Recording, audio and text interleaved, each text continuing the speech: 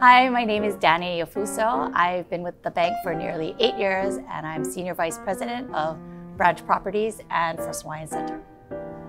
So First Hawaiian Bank has been in the community for 165 years. And in that time, we have definitely found um, our style of architecture to be unique.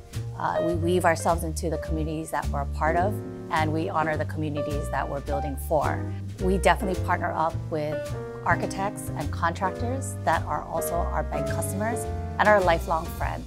When we are designing branches, we do take into consideration the locations that we're in. We have a tendency to buy our properties, and so we're very invested for the long term. Uh, we, we really think about the people and the location that we're in, the history that was there, how can we honor it, and still elevate it to be current for our modern day types of service. One of my favorite things about First Hawaiian Bank and the architecture is I think a lot of the um, unsung heroes of the design, we have a lot of details that go very unnoticed. If you look at our Kapiolani branch, it's made out of this beautiful sandstone that was of a time period, but it's so graceful and elegant. And it's really been timeless as that building is now 40 years old. Um, it has a green patina copper roof and that has also stood the test of time. And when you drive down Kapiolani Boulevard, it's such a recognizable structure. Um, and that architecture in the community is important. It's not only part of our history of the First Hawaiian Bank and who we are, but really of the path that Hawaii architects have taken um, and this journey that's so beautiful and we don't want to lose it. We really are trying to preserve.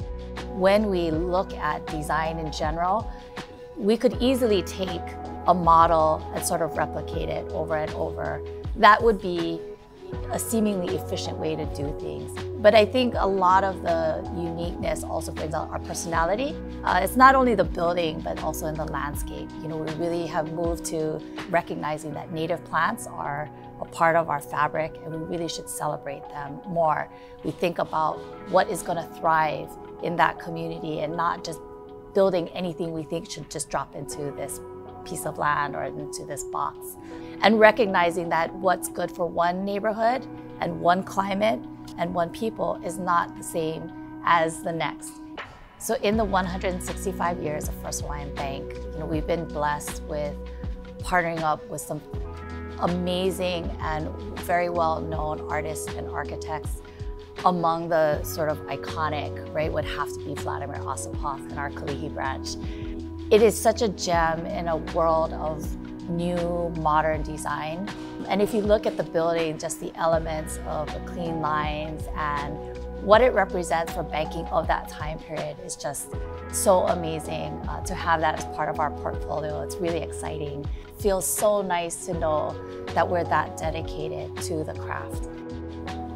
When our customers come into our branches, we really want them to feel welcomed it's not just about cashing a check or withdrawing money for an ATM. We want them to feel that the space is for them and that they're able to make these important life decisions with First Hawaiian Bank as their advisor.